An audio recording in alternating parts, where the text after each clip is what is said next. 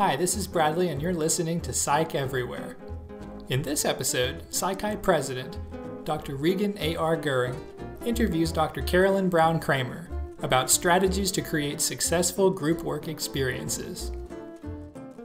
Dr. Brown Kramer is an assistant professor of practice at the University of Nebraska Lincoln. A social psychologist by training, she teaches courses in introductory psychology, social psychology, advanced social psychology, and motivation and emotion. There are so many questions that psychology can answer about group work. In particular, this episode focuses on strategies for group organizers. For example, how can professors ensure that students have the necessary information and the best opportunity to succeed in a group. Should they assign group members? Or should they let them choose their own groups? And what about periodic progress checks? Are these helpful? Having listened ahead to this interview, I know that you're in for a real treat. So, with no further ado, I'll let Dr. Gurung take it from here.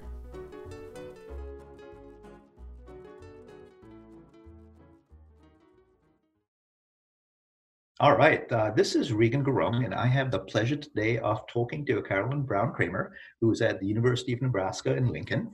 And I had the pleasure of, of listening to Carolyn talk about group work at the Society for Teaching of Learning and Learning annual conference on teaching. And I just thought, wow, this is, Carolyn has hit and answered just so many of the questions that I know many of us have when we think about group work. And she's consented to come and do a reprise of that for all of you who couldn't make it to ACT or who care about that. Uh, Carolyn, thanks for taking the time to be on here. Absolutely. Thank you for asking me. I'm, I'm delighted. This presidential year, my theme has been psych everywhere. Uh, psychology is everywhere, and I think even using the psychological science and research in how we teach is just one of the many places to to do it. So let's jump in. So Carol, tell me what what made you think about uh, presenting on group work? Well, as many instructors have experienced, I get that first day of class syllabus overview day. As soon as I say we're going to be working in groups this semester, I get that complete deer in the headlights look that so many of us are familiar with.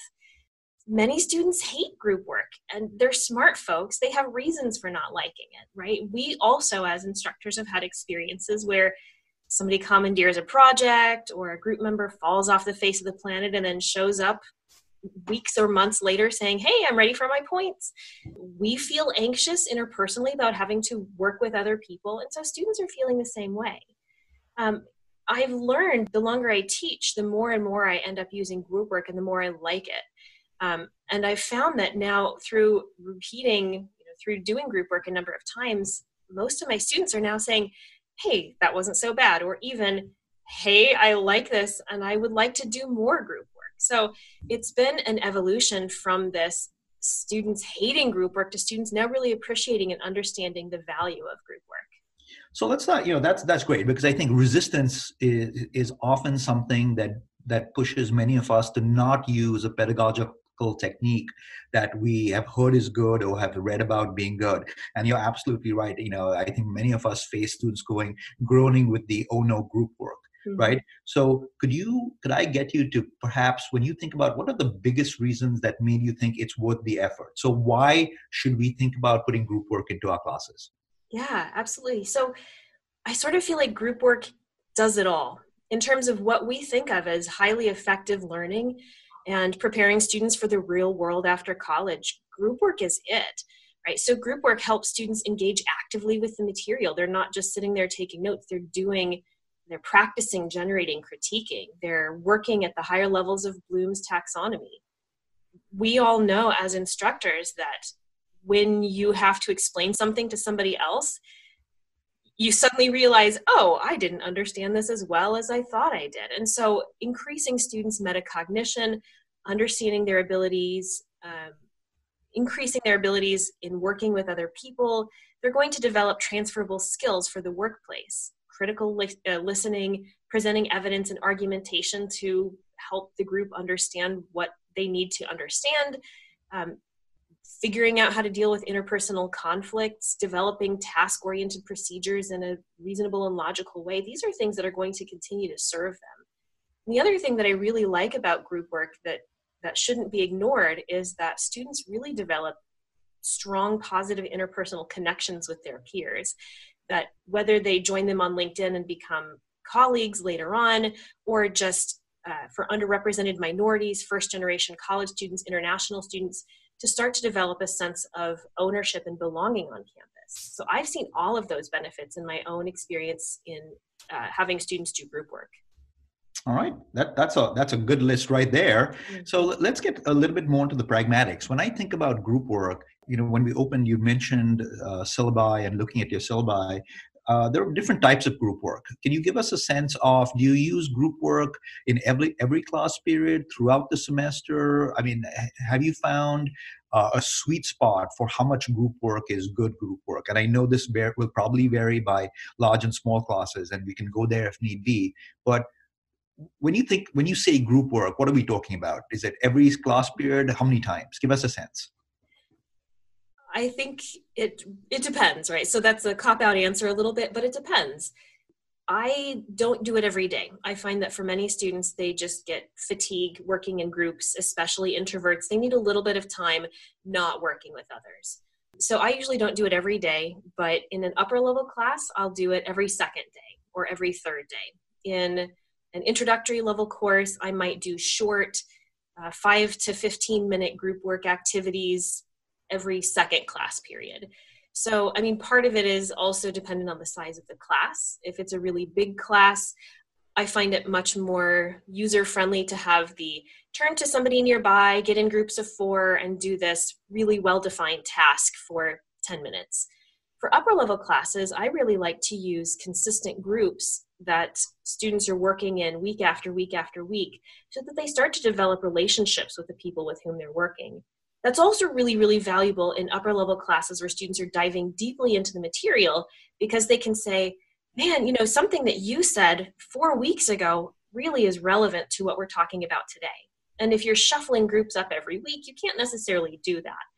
I also find that having consistent groups, especially in those upper level classes, help students become more comfortable with each other so that they're willing to disagree. They're willing to take risks with each other that they probably wouldn't be willing to do if it were a completely new group of strangers every time they meet to pull some of that together then really when i think about if i were thinking about group work i've got to think about both the pragmatic side of it uh, how large is the class the composition of the class and obviously right at the top of the list uh, i heard it there implicitly but i wanted to pull it out explicitly uh, is your student learning outcomes right? I mean is a learning outcome for your class going to be solved or addressed by using group work uh, and I think that's a big deal because I like I love the way you mentioned Bloom's taxonomy because there are some kinds of I mean multiple choice uh, is not going to help you get at the types of learning and engagement with the material that group work is, mm-hmm. and so especially in upper level classes, I think with the student learning outcomes being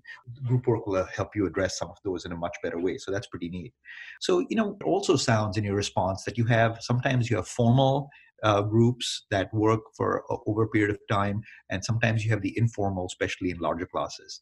Can you talk a little bit about what sort of structure do you give students? Do you give them a script? I mean, how do you, you know? It's one thing for you and me to say, "Oh yeah, group work is great," but I've noticed that for many novice students, they don't know how to behave in a group or act in a group. What do you what do you do to help that out?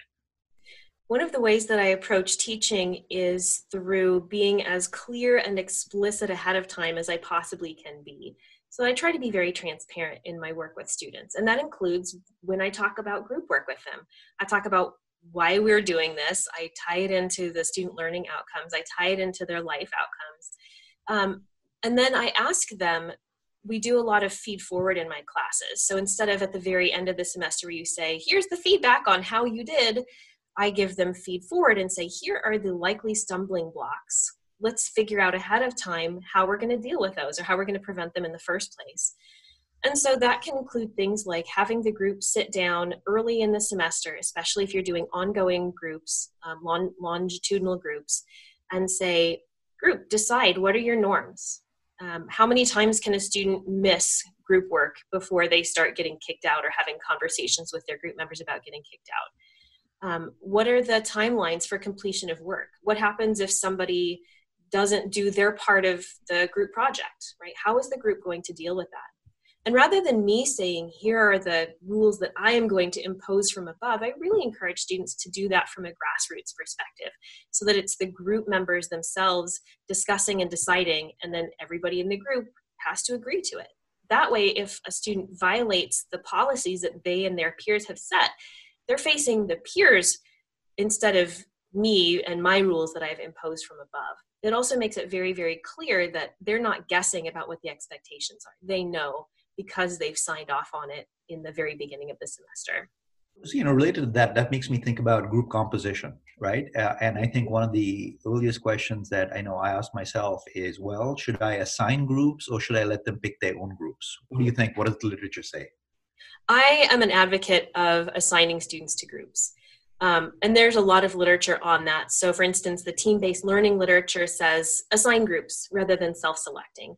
Um, it's okay to do random groups, especially if you have a large class and you don't know the students, you don't have any means for putting them in systematic groups. Um, if you can, intentional groups are, are believed to be better. So, the reason that I like assigning students rather than letting them self select um, number one, you see right off the bat as they get in the groups, they're not doing as much off topic chatter. Um, so, they're more likely to focus on the task that's at hand rather than who did what the last weekend. It also splits up cliques. So you don't have students who are all from the same sorority or who are all in the same athletic organization um, sitting together. And you can also increase diversity, right? So part of what I said before was increasing different student groups' ownership of and belonging on campus. So if you can mix groups up in terms of domestic and international students, students with different majors, students of different genders, all sorts of different characteristics, all of a sudden, instead of students only interacting with their in group, they're being exposed to a much more diverse crowd of peers. Um, the other thing, I got this tip from another colleague a couple of years ago, and I love it. When I create groups systematically, um, especially groups that are going to be working together for a long period of time, several weeks or over the course of a semester, I create groups that are homogeneous in procrastination tendency, but heterogeneous in terms of um, introversion and extroversion. So, what I mean by that is I give them a survey at the very beginning of the semester and I say, you know, tell me a little bit about your personality. And then as I'm creating groups, I put the procrastinators all together. And I put the early submitters all together because I found that students get so frustrated working with the opposite type of peer right? So the the non-procrastinators are hounding their procrastinator friends saying where's your part of the project? The procrastinators are saying why do you need this done five days early? So there's just a lot of stress that doesn't need to be there. If you put the procrastinators together they're all happy to turn it in the night before. So wow. that helped a lot that's that's another level of planning right uh, but I'm, I'm guessing once you do it and work it out it, it it it pays off in the in the long term but that's just that's a really interesting idea to make sure that that those groups are set up in that way mm-hmm. uh, pretty neat once you assign them then and and you mentioned uh, I love I love the notion of feed forward, and I think that's a mm-hmm. phrase that not you don't hear too often. But I, I love the way I'm glad you brought it up and talked about that. You know, the warning and what, having students watch out for things. Uh, and and here in the case of before you throw students off the island, as it were, what you know what do you do? Let's move on to the assessment of group work. Do you do format uh, related to groups looking at themselves? Do you do formative assessments of the group and summative? What are your what are your recommendations for assessing group work? I think that depends a lot on how the groups are structured and the tasks that they're doing. But alongside whatever the learning outcome is for the actual task, right? What is the score that this group gets on the final presentation or the paper or the homework or whatever it is that they're doing? I always have some component of the grade and the learning experience based on how they did their group work. So if it's a one off group, I mostly solve that by just walking around the classroom and observing how the groups are interacting, and then, when necessary, intervening when I see somebody who's off task or somebody who's dominating the group.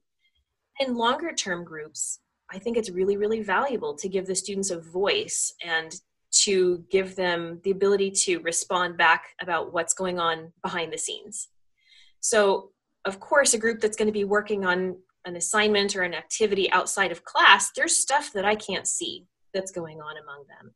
And so I always want to ask the students, how did your peers do? How did you do? Um, and again, you can just do this at the end of the activity, at the end of the semester.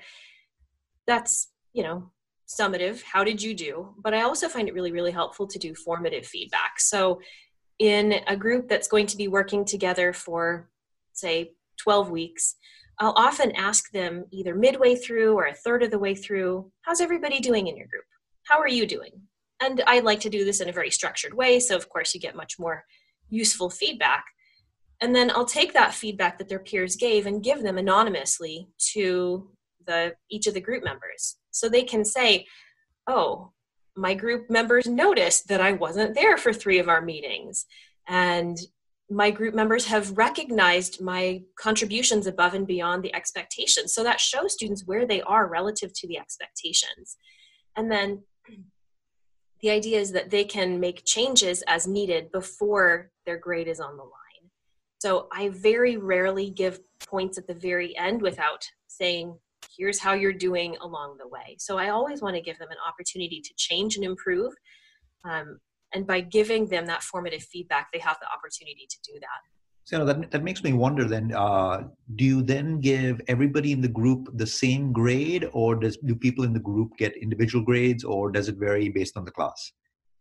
Varies based on the class. And there are different schools of thought about which one is best. I was just talking with a colleague in classics the other day where he gives all members of the group the same grade. Um, I tend not to do that because number one, students get very upset about it.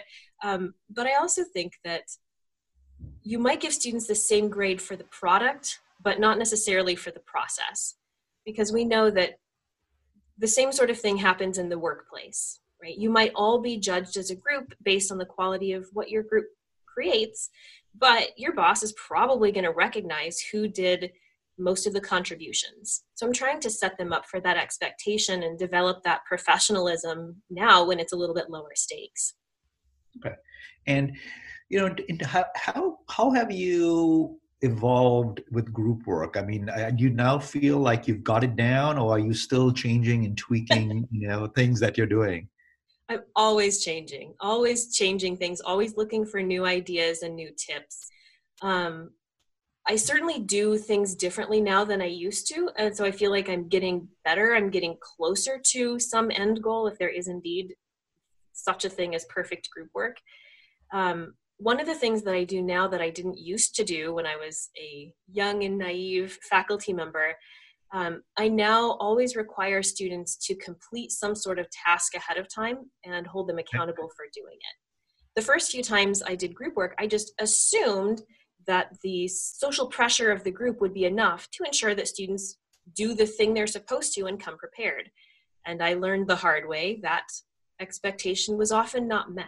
So, what I do now is I might have students complete a reading and write a page of response, write a one page response paper.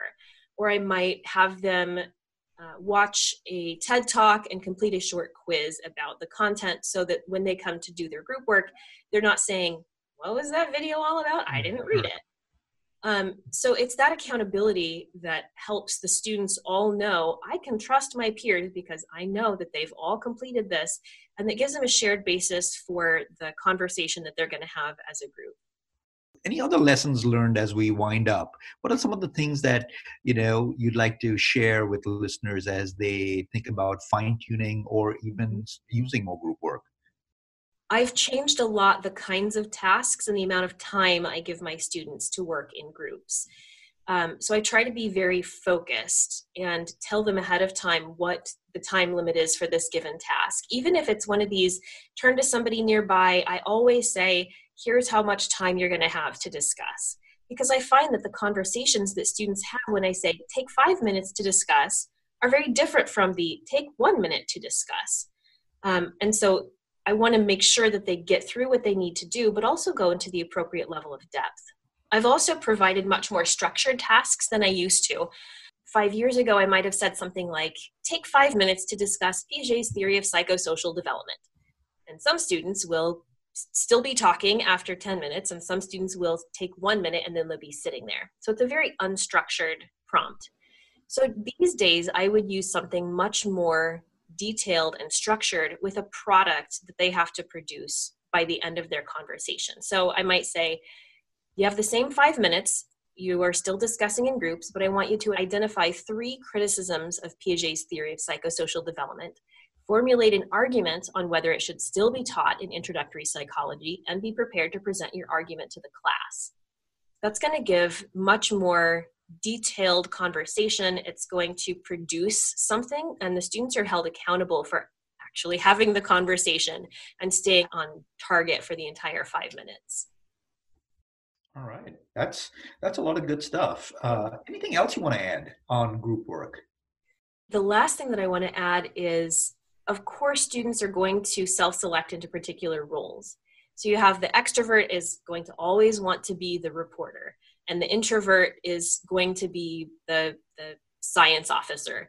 And somebody who has good handwriting, which is almost always the women in the group, is going to be designated as the recorder what that does is it shortchanges students who don't have those characteristics because they are missing out on these other learning opportunities and these other roles. So I have moved much more strongly toward either randomizing roles and say, all right, the person with the shortest pinky is the group mm-hmm. captain today, or the person who was born earliest in the year is the recorder, or else I'll rotate. So it's really easy, even in a large class, to say, pass the paper around. I don't want to see the same handwriting on all of the questions.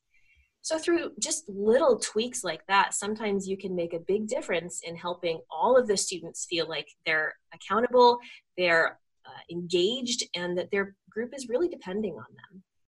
So let's end with this scenario, right? Here's this faculty member who's been teaching for some time, but they see group work as just too much work and have never used it. What would you say to that faculty member? I would encourage them to think about the benefits and say, what's something that's not working in your group, in your class? If there's something that's not working in your class, see if you can reinvent it, just that one thing from a group work perspective. And you don't have to completely restructure your course around group work. Most of my classes, especially my lower cl- level classes, are not structured around group work. It's one small aspect of a really complex puzzle. So I'm a big fan of the incremental approach to improving teaching. So if you say, I'm going to try one group activity a month, right? That's a really small ask, but you can try it out, see how it works. If it doesn't go as well as you'd like, do something a little bit different the next month. So that's much less high stakes than I'm going to completely reinvent my class to be based entirely around a semester long group project. That makes a lot of sense. Well, Carolyn, I'd like to thank you very much for your time. Before we sign off, I'd also like to say I know you are a psych advisor at University of Nebraska Lincoln. Thank you very much for your service because we know how important advisors are. So special uh, thank you for that. And again, thank you so much for your work in the group. I look forward to getting this out there. This is Regan Gurung signing off for Psych Take care. Bye bye.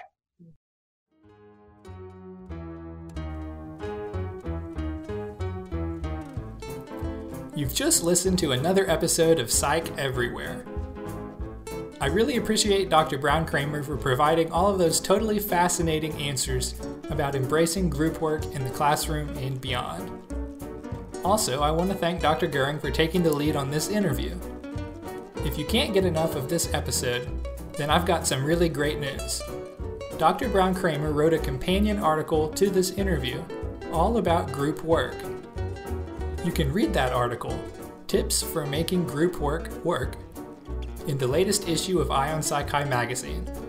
To read that article, visit www.psichi.org backslash EYE.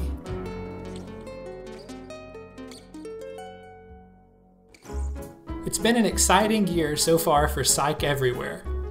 Looking back, we've recently spoken with Dr. Steven Pinker about how bad news isn't the whole story. Dr. Ira Hyman shared about unicycling clowns and inattentional blindness. And Dr. Janina Scarlet shared about superhero therapy. So, what has been your favorite episode so far? Please help us shape the future of this podcast by leaving a brief review on Apple Podcast. We'd really appreciate your feedback and this will help to get the show to additional listeners too. Okay, that's all for now. I'll talk to you again soon.